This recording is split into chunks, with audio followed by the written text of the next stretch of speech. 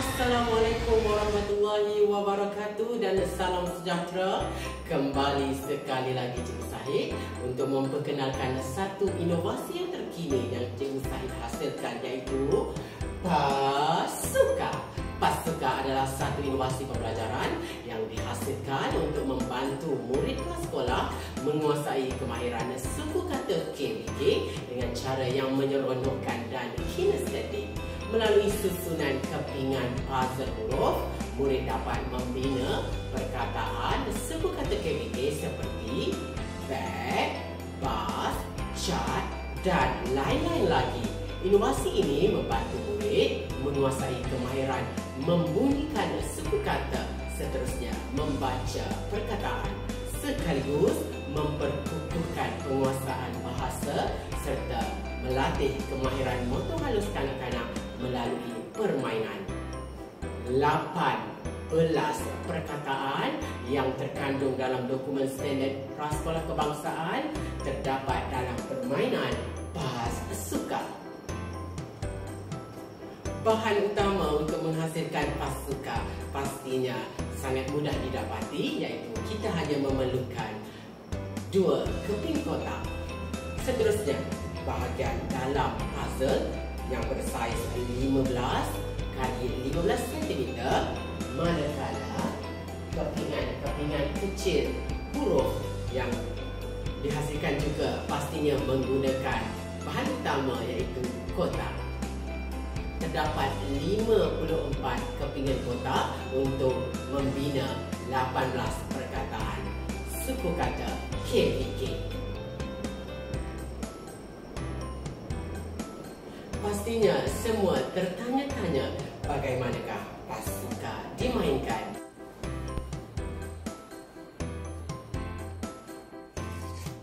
Ha, inilah pasuka. Anda dah bersedia untuk bermain pasuka? Ayo Cikgu Sahid tunjukkan cara bermain pasuka. Inilah papan pasuka. Untuk bermain pasuka, kita memerlukan kad gambar dan kad huruf. Satu papan pasuka mengandungi tiga perkataan KVK.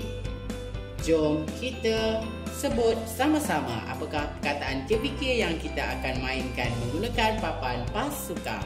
Seperti yang terdapat pada papan pasuka, terdapat tiga gambar perkataan KVK.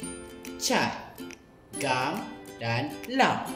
Perkataan ini akan disusun berdasarkan sesunan kad gambar yang terdapat di atas. Cat C A T cat.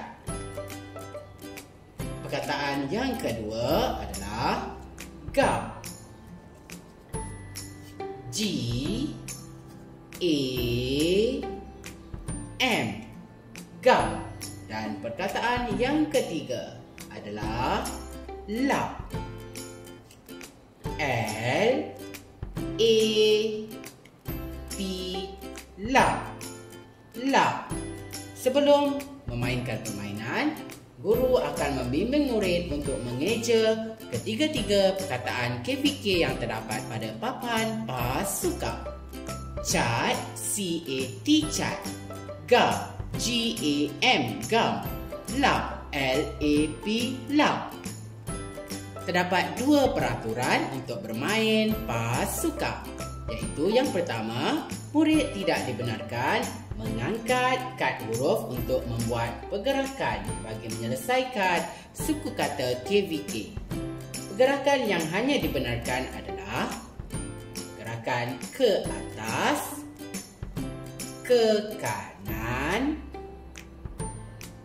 ke kiri dan ke bawah sahaja dan murid perlu menyelesaikan perkataan KVK yang berada di bahagian paling bawah iaitu kad gambar yang ketiga terlebih dahulu.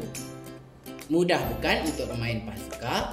Seterusnya, bagaimanakah gerakan kad-kad huruf digerakkan untuk murid menyelesaikan perkataan yang terdapat pada papan pasuka? Guru bebas menyusun gerakan yang bergantung kepada tahap kebolehan murid. Sebagai contoh, bagi murid yang berada di aras paling rendah, guru boleh meminimalkan gerakan kad huruf. Sebagai contoh, pada kali ini, Cikgu Syed hanya akan membuat enam gerakan sebelum pasuka dimainkan.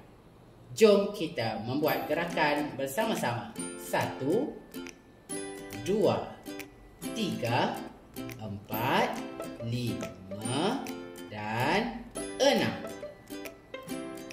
Setelah gerakan selesai dibuat, murid perlu menyelesaikan perkataan yang ketiga terlebih dahulu iaitu lam. Boleh eja sama-sama dengan Cikgu Zahid bagaimana untuk kita mengeja perkataan lam. L A P lam. Jadi, cuba kita gerakkan perkataan LP AP lam untuk membentuk perkataan lam dengan betul. Kita gerakkan A ke atas, C ke atas, A ke atas A yang berwarna ungu kita gerakkan ke kiri atau ke kanan untuk membentuk perkataan lam. Ya, kita gerakkan ke kanan. Perkataan yang seterusnya untuk kita bina. Bagaimanakah untuk kita membentuk perkataan lam? Cuba bantu Cikgu Syahid. Ya, gerakkan L ke bawah. Maka lengkaplah perkataan lam. Tahniah, kita telah berjaya menyelesaikan perkataan yang ketiga iaitu lam. Seterusnya, kata gambar yang kedua kita perlu menyelesaikan perkataan gam. Bagaimanakah untuk mengeja gam? Guru boleh membimbing murid untuk mengeja gam dengan betul. G A M gam. Ya betul. Cuma kedudukan huruf G tidak tepat. Jadi G perlu digerakkan ke bawah, ke atas, ke kiri atau ke kanan ya murid-murid. Ya, gerakkan G ke bawah. Maka kita sudah berjaya menyelesaikan perkataan gam. Tahniah murid-murid.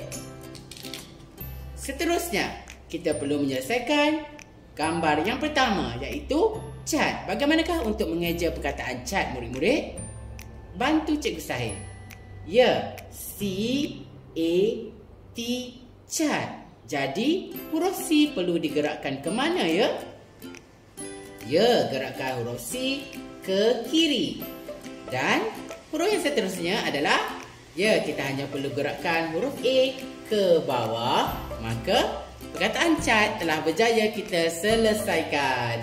Tahniah, kita telah berjaya menyelesaikan tiga perkataan KBK pada hari ini iaitu cat, gam, lam. Sebagai pengukuhan, guru boleh meminta murid untuk mengeja berulang kali. Sebagai contoh, perkataan yang pertama, cat. Eja sama-sama dengan Cikgu Sahid. C A T cat. Pandai. Perkataan yang kedua adalah gam. Jom kita eja perkataan gam. G A M. Gam. Bagus. Dan perkataan yang ketiga adalah lam. L A P. Lam. Tahniah, tiga perkataan KBK telah anda berjaya mengeja dengan tepat pada hari ini.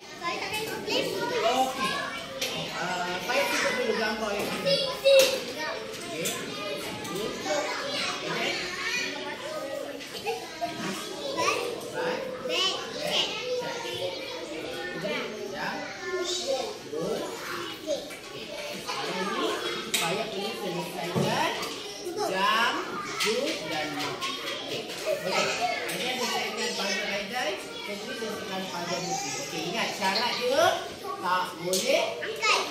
Puzzle tak boleh angkat. Angkat macam ni tak dikira walaupun dia ada betul. Kita hanya boleh gerakkan ke mana? Ke atas. Ke atas. Betul? Ke kiri. Ke kanan. Dan ke bawah. Lalu atas. Dulu atas. Bawah.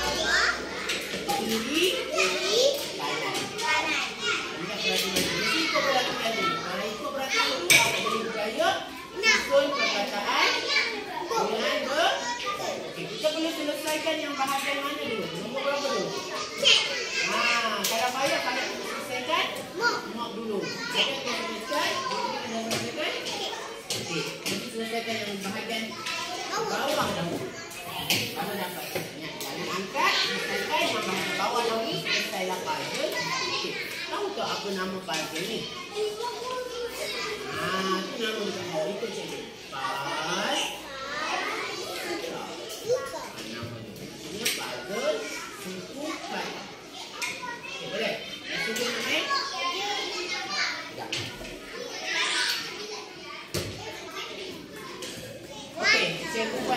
pergerakan dahulu eh.